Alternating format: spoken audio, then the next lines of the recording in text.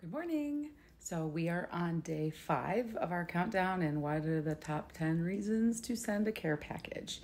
I'm going to say that it's going to be that reward center dopamine hit, right? That the kids get kind of like when they're scrolling through Facebook. But instead, they're going to get it from being with us. Make sure you go to the link below, register your college student, and I'm going to do the drawing on the 14th of October. Five boys, five girls, they're all going to get free care packages.